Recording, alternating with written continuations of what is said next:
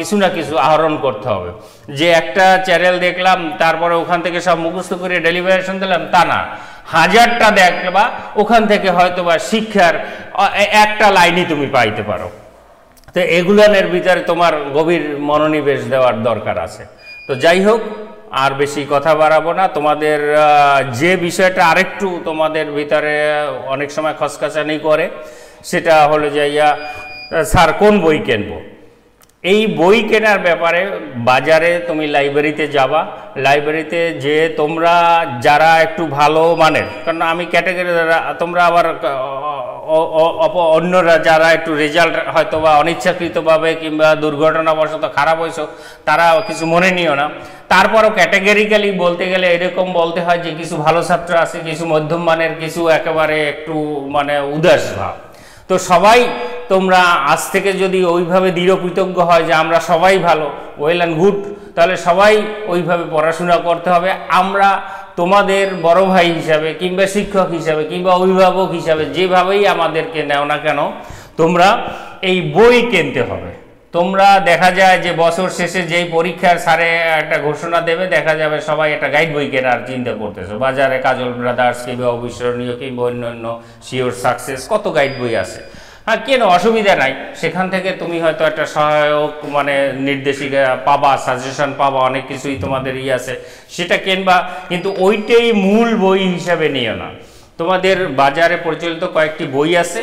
সেই বই থেকে যারা এই মাহবুবুর রহমানের একটা বই আছে আপডেট কিছু লেখা। এখন সব এখন বলছি যে একটা বই কিনলেই হবে না। এখানে তোমাদের হয়তো একটা মোটামুটিভাবে কোনো হয়তো দুই তিনটা চ্যাপ্টার একজন রাইটার আমাদের শিক্ষক। রাইটার বলতে এখানে ভুল হবে। তারা আমাদের এই শ্রেদ্ধ শিক্ষক। এই শিক্ষক সম্প্রদায়েরাই এই বইগুলো মোটামুটিভাবে সংকলন করছেন কিংবা বিভিন্ন বই রেফারেন্স থেকে তারা আয়সা তোমাদের উপযোগী করে একটা বই প্রণয়ন করছেন। তো যাই হোক, এই মাহবুবুর রহমান, রুকুন উদ্দিন আহম্মদ এই স্যারের বই আছে, গোলাম মোস্তফা স্যারের বই আছে, কৃষ্ণপদ সরকারের বই আছে। এরকমভাবে তারপরে আরও কয়েকজনের আমি নাম সেইভাবেই করতে তাহলে এই যে চার পাঁচজনের নাম বললাম, এই বইগুলান যদি তোমার সাইয়েদ আবদুল্লাহ, এখন সেই বই পাবা না আমাদের ইউনিভার্সিটির স্যার। তারপরেও যেগুলান এখন বাজারে প্রচলিত আছে, তার ভিতরে মাহবুবুর রহমান রুকুনউদ্দিন আহমদ, গোলাম মোস্তফা বিষ্ণুপদ সরকার এই বইগুলার মোটামুটিভাবে ফৌজিয়ার বই আছে। এরকমভাবে একটু ডিফিকাল্টি একটু লেখা মানে ওই অর্থে সেরকমভাবে গুছানো ইটা নাই। তারপরেও অনেক তথ্য উপাত্ত, অর্থাৎ আধুনিককালে তোমাদের যে সিকিউ অ্যান্ড এম সিকিউ কোশ্চেনের যে মেথড সেখানে অনেক ভালো ভালো বিষয় তারা উপস্থাপন করছেন। তো এরকমভাবে বাজারে যে বই কয়টা বললাম, এখান থেকে তোমরা একটু ঘাটবা। বই ঘাটা বলতে যে বইগুলো দেখার সেই ব্যাপারটা ঘাটটা তোমরা বই সংগ্রহে রাখবা। একটা না, দুইটাই সংগ্রহ রাখো। সেটা তোমাদের জন্য ভালো, যারা একটু ভালো স্টুডেন্ট। আর যারা সামর্থ্য একটু কম আছে, তারা অন্তত একটা বই কেন। আর কিছুদিন পরে নাহলে গাইড বই কিনবা। এখন প্রথমেই গাইড বই কিনে কয়েকটা প্রশ্ন মুখস্থ করার দরকার আছে বলে আমি ব্যক্তিগতভাবে মনে করি না। তো আসো, প্রাচীন যুগ। আমরা যুক্তিবিদ্যার ইতিহাসের যদি কালিক পরিক্রমায় এর পর্যায় সারণীতে ভাগ করি, তাহলে প্রাচীন যুগ মধ্যযুগ আধুনিক যুগ এবং অতি সাম্প্রতিক কাল। এই চারটা পর্যায়ে আমরা এই যুক্তিবিদ্যার আলোচনার প্রেক্ষাপটকে আমরা ভাগ করতে পারি। প্রাচীন যুগে, অর্থাৎ ওই যে গ্রিসের কথা বললাম, এই ইউরোপের একটা কান্ট্রি সেই গ্রিসে খ্রিস্টপূর্ব তিনশো চৌরাশি খ্রিস্টাব্দে অ্যারিস্টটল নামক একজন মনীষীর জন্ম হয়। অ্যারিস্টটল এ আর আই অ্যারিস টি ও টি এল ই একে বলা হয় এই মানে যুক্তিবিদ্যার জনক হিসাবে আমরা আখ্যায়িত করতে পারি। তাহলে এটা কিন্তু একটা প্রশ্নও হয়ে যায়। অ্যারিস্টটলকে যুক্তিবিদ্যার জনক। আর যুক্তিবিদ্যার জনককে অ্যারিস্টটল। তাহলে যাই হোক এই প্রাচীন খ্রিস্টপূর্ব কত বললাম? তিনশো চৌরাশি থেকে থ্রি হান্ড্রেড টোয়েন্টি যাইয়া এ বি, সি। বিসি মানে before the birth of Christ. মানে যীশু খ্রিস্টের জন্মেরও তিনশো চৌরাশি বছর আগে এই লোকের জন্মগ্রহণ হয়েছিল। বুঝতে পারছি আমরা যে ইংরেজি সাল গণনা করি, তারও আগে এই যীশু খ্রিস্টের জন্মের তিনশো চৌরাশি বছর আগে এই ভদ্রলোকের হলো যে ইয়া তোমাদের এই প্রাচীন গ্রিসের একজন দার্শনিক অ্যারিস্টটল, সে এই যুক্তি চিন্তার জগতের আলোচনার ক্ষেত্রে এই যুক্তিবিদ্যার অবতারণা করছিল। তার প্রণীত যুক্তিবিদ্যাকে আমরা অবরোহ যুক্তিবিদ্যা, আমরা দুই ধরনের যুক্তিবিদ্যার দেখা পাই। এখানে আমি একটু আলোচনা করে নেই। সেটা হলো যাইয়া যুক্তিবিদ্যা দুই ধরনের এখানে যুক্তি আছে। যুক্তি একটা হলো অবরোহ আর একটা হলো যাইয়া আরোহ। এই দুইটা হলো যাইয়া মূলত যুক্তি। এখান থেকেই আবার এই দুইটা মিলাইয়া আবার এখানে হলো যাইয়া প্রতীকী যুক্তিবিদ্যা। প্রতীকী যুক্তিবিদ্যা চলে আসে বা symbolic S Y symbolic logic চলে আসছে, এখানে অতি সাম্প্রতিককালে এই জিনিসটা চলে আসছে। তো যাই হোক, আমরা এই যে অ্যারিস্টোটাল যে আমাদের চিন্তা, মনন, মেধার যে বিকাশ সাধনের জন্য যে একটি অবরোহ চিন্তার পদ্ধতির আকার হিসাবে এই যে যুক্তি পদ্ধতির অবতারণা করেছিলেন, সেটা হলো যাইয়া মোটামুটিভাবে এই যুক্তিবিদ্যার প্রাচীন ফর্ম শুধুমাত্র যে অ্যারিস্টোটালই এই বিষয়টা উপলব্ধি করছেন তা না। আমরা তারও পূর্বে অর্থাৎ যখনই সভ্যতার শুরু সেখানের দিকে যদি আমরা তাকাই, তাহলে ফ্রেড ফ্লিন্ট স্টোন নামক আরেকজন, তারপরে হলো সফিস্ট সম্প্রদায়ের যে দার্শনিক আছেন তারা পোটোকোরাস জর্জিয়াস, তারপরে দার্শনিক হলো যে সক্রেটিস, প্লেটো, এরা প্রথিত যশা প্রাচীন কিন্তু দার্শনিক। এটা, এ- এরা কিন্তু অ্যারিস্টটলের পূর্বের। অর্থাৎ এই যে বললাম খ্রিস্টপূর্ব তিনশো চৌরাশি, তারও পূর্বের কিন্তু এই সক্রেটিস, প্লেটো, এই ফ্রেন্ড ফ্লিনেস্টোন এরা এবং সফিস যে পোটোকরা, জর্জিয়াস, এদের নাম যে বললাম, এরা কিন্তু আমরা, তাদের আলোচনায়ও আমরা এই যুক্তিবিদ্যার দেখা পাই। কিন্তু ওই অর্থে তারা কিন্তু ওই যুক্তির কথাটা প্রথম মানে প্রাতিষ্ঠানিক বা একটা কাঠামোগত রূপ দিতে তারা সমর্থ হয় নাই কিংবা ওইভাবে চিন্তা। কিন্তু তাদের আলোচনার পদ্ধতিটা ছিল কিন্তু এই রকমভাবে যুক্তি পদ্ধতির। এর এরও পূর্বে, অর্থাৎ এই যে আমরা খ্রিস্টপূর্বের চারশো বছর আগে এই সক্রেটিস প্লেটোর কথা বললাম, তারও মেগারীয় যে সম্প্রদায় ছিল মেগারিয়ান জ্ঞানতাত্ত্বিকদের আলোচনাতেও আমরা যুক্তিবিদ্যার কিছুটা আলোচনা আমরা দেখতে পাই। এই সময়ের যুক্তিবিদ্যার ভিতর এস্টোইক যুক্তিবিদ্যা আছে এবং এস্টোইক যুক্তিবিদ্যার প্রতিষ্ঠাতা যে ছিল জেনো। আমরা নামটা যা জানে থাকব, জেড ই এনও জেনো এস্টোইক মানে যে ফিলোসোফার হিসাবে যাদেরকে আখ্যায়িত করে, রাষ্ট্রবিজ্ঞানী হিসাবেও আমরা আখ্যায়িত করি, বিভিন্নভাবে তোমরা তোমাদের পরিণতিতে এই নামটা পাবা। তাহলে এই যে মেগারিয়ান সম্প্রদায়ের মানে তারও পূর্ব, এই যে যাদের নাম বললাম, সক্রেটিস, প্লেটো ফ্লিন্ট ফ্লিন্টেস্টন, এদের পূর্বে সফিস্টগণ, এদেরও পূর্বে হলো যাইয়া এই জেনো এই, তারপর ক্রিস্টিপাস এই এগুলো কিন্তু প্রাচীন গ্রিস, এই যাদের প্রত্যেকের নামটা বললাম প্রাচীন গ্রিস দেশের। এরা প্রত্যেকে যুক্তিবিদ্যার বলা বলা যায় যে আলোচনা করছেন। ওই অর্থে যে দার্শনিক আলোচনার বিষয় হিসাবে। এখন আমরা অত ব্যাপকে যাব না যে তোমাদের হয়তো মাথা ধরিয়ে যাবে যে স্যার আবার যুক্তিবিদ্যা পড়াইতে এসে আবার আমাদের দর্শন নিয়ে আলোচনা। কারণ আমরা জানি যে যাই হোক, জ্ঞানের সমস্ত কিন্তু আজকে যেভাবে বিজ্ঞানের বিভিন্ন বিষয় হিসাবে যেটা পাই, রাষ্ট্রবিজ্ঞান, সমাজবিজ্ঞানের বিভিন্ন বিষয় হিসাবে যে সকল বিষয় পাই, প্রাচীনকালে কিন্তু এই সকল বিষয়গুলোর এতখানি এইরকম বিস্তৃত পরিসরে ছিল না। সেগুলোনের যখন সূচনা হয় আলোচনা, তখন সমস্ত বিষয়টাই ছিল এই ফিলোসফি বা দর্শনের অন্তর্ভুক্ত। এই যে যুক্তিবিদ্যার যে আলোচনা, এটাও দর্শন। ওই অর্থে কিন্তু প্রত্যেক দার্শনিকই আবার যুক্তিবিদ। বুঝতে পারছ? যার জন্য তোমাদের যুক্তিবিদ নাম বলি, আবার দার্শনিকই বলি, এখানে তোমাদের ভিতরে একটু কনফিউশন হতে পারে। কিন্তু এখানে কনফিউশনের কিছু নেই। যেই যুক্তিবিদ, সেই দার্শনিক, যে রাষ্ট্রবিজ্ঞানী, সেই দার্শনিক, যে সমাজবিজ্ঞানী, সেই দার্শনিক, এরকমভাবে কিন্তু তোমরা যাই হোক ইন্টারমিডিয়েট পর্যায়ে এত ভারী জিনিস তোমাদের দরকার নাই। এইটুকু অন্তত জানিয়ে রাখো যে, যা রাষ্ট্র দার্শনিক এবং যুক্তিবিদদের ভিতরে মূলত মৌলিক কোনো পার্থক্য নয়।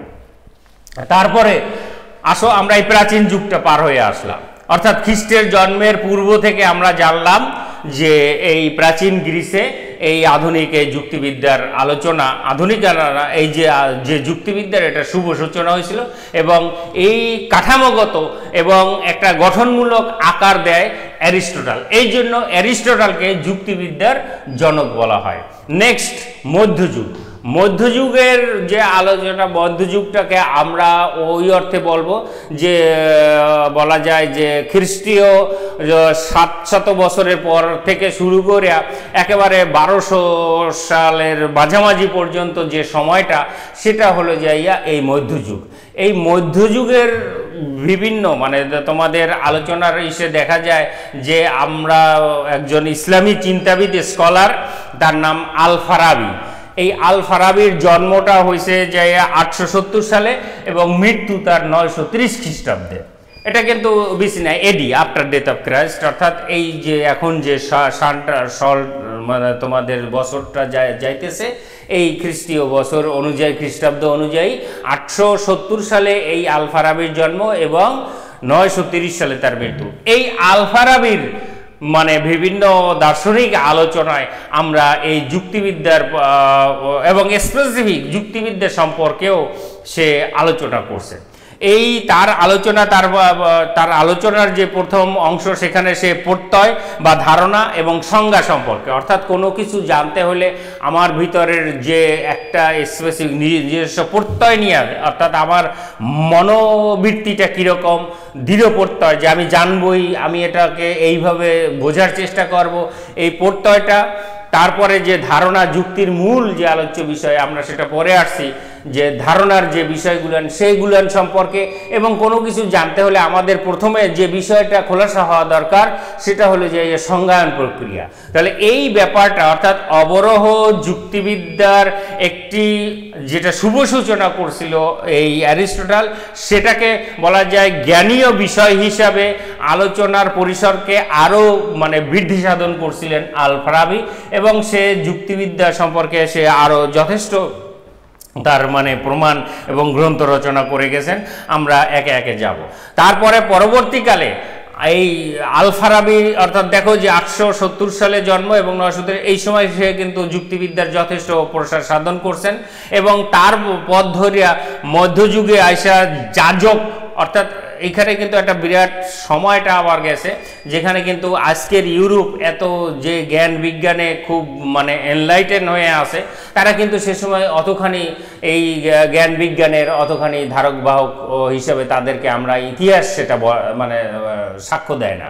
তো যাই হোক, এই মধ্যযুগের মুসলিম যে মনীষী, তার ভিতরে আল ফারাবির এই যুক্তিবিদ্যা পরবর্তীকালে এর হাত ধরেই আবার দেখা যায় এবং প্রাচীন এই গ্রিসের হাত ধরে, এই ইটালিতে কয়েকজন ধর্মযাজক তথা দার্শনিক সম্প্রদায় এই আবার যুক্তিবিদ্যার তারা কিছুটা যে চিন্তাভাবনাকে আগাই নিয়েছে। এদের ভিতরে জন ডান্স স্কটাস, যার হাত ধরে বলা যায় যে ইউরোপের যে এই পাশ্চাত্য দর্শনের শুভ সূচনা হয়েছিল সেটা এই জন ডান্স স্কটাস, তারপরে উইলিয়াম ওকহাম এর হলো যে বারোশো ছেষট্টি সালে। দেখো যে বছর, দেখো সেই আটশো সত্তর সাল কিংবা নয়শো সাল থেকে এই বারোশো একটা বিরাট বছর মানে সময় কিন্তু এখানে গেছে, যেটা ছিল আগে মুসলিম মনীষীদের আলোচনার বিষয়। পরবর্তীকালে আবার এই ওয়েস্টার্ন ফিলোসোফার তথা জন ডান্স স্কটাস, উইলিয়াম ওখাম, তার জন্ম হলো বারোশো পঁচানব্বই এবং মৃত্যু হলো তেরোশো উনপঞ্চাশ খ্রিস্টাব্দে, এবং জিয়ান বুরিদান, এই ইটালিতেই সবাই এদের মানে এই জ্ঞান বিজ্ঞানের আলোচনার তারা হলো যে ক্ষেত্রটা ওখানেই মানে কিছুটা রচিত হয়েছিল। জিয়ান বুরিদান এর হলো যে, বারোশো পঁচানব্বই থেকে তেরোশো মধ্যে, এবং মধ্যযুগের পোর্ট রয়্যাল অর্থাৎ যে যুক্তিবিদ্যা, এই যারা আছে ইউরোপের এই যুক্তিবিদ্যার এই যুক্তিবিদ্যার আলোচনায় এরা বলা যায় যে একটা গুরুত্বপূর্ণ আলোচনা তাহলে এই যাজক যুক্তিবিদ এবং পোর্ট রয়্যাল যুক্তিবিদদের চিন্তাধারাকে কেন্দ্র করে আমরা দেখতে পাই যে এই সনাতনী, অর্থাৎ এই তাত্ত্বিক আলোচনার যুক্তিবিদ্যা বা যুক্তিবিদ্যাকে বলা হয় ট্র্যাডিশনাল, সনাতনী বা প্রচলিত যুক্তিবিদ্যার একটা ভালো উন্নয়ন সাধন হয়েছে এই মধ্যযুগে। এই সকল বলা যায় যে এইটা অব্যাহত ছিল আরও অনেক দিন পর্যন্ত। এই আলোচনাটাই, অর্থাৎ যুক্তিবিদ্যার এই যে বলা যায় যে মধ্যযুগে যে সূচনা আলফারাবি, সেটার কন্টিনিউশন যাইয়া বলা যায় আঠারোশো সালের একেবারে শেষ পর্যন্ত বা উনিশ শতকের প্রথমার্ধ পর্যন্ত এই পর্যায়ে, অর্থাৎ তাত্ত্বিক বা সনাতনী বা ট্রাডিশনাল ওয়েতেই আমাদের এই আলোচনা ছিল। আধুনিক কালে আসা আধুনিক যুক্তিবিদ্যার জনক হিসেবে আমরা যাকে আখ্যায়িত করতে পারি, সে হল ফ্রান্সিস বেকন। তিনি নোভান অর্গান নামক গ্রন্থে আধুনিক আরেকটা যুক্তি পদ্ধতির অবতারণা করেন, যেটাকে আমরা ওই যে সনাতনী যুক্তিবিদ্যা বা অবরোহ যুক্তিবিদ্যা না বললে আমরা তাকে আরোহ যুক্তিবিদ্যা হিসাবে আখ্যায়িত করতে পারি। তো স্বাভাবিকভাবেই এতক্ষণ আলোচনায় তোমাদের ভিতরে একটা অবরোহ এবং আল, আরোহ, এই দুইটা চিন্তা ঘুরপাক খাইতেছে। তোমাদের বোঝার সুবিধার্থে আমি বলতেছি, অবরহ হলো যে আমাদের চিন্তার সেই গতি প্রকৃতি বা চিন্তাধারাটা সেই রকম, যেখানে আমরা হলো যাইয়া একটি বেশি ব্যাপক, একটা সার্বিক যুক্তিবাক্যের অন্তর্গত বিশেষ পদ্ধতির আলোচনার মাধ্যমে আমরা সিদ্ধান্তে একটা বিশেষ বিষয়কে উপস্থাপন করি, তখন সেটাকে বলা হয় যে অবরোহ মেথড বা যাকে ইংরেজিতে বলা হয় ডিডাকটিভ।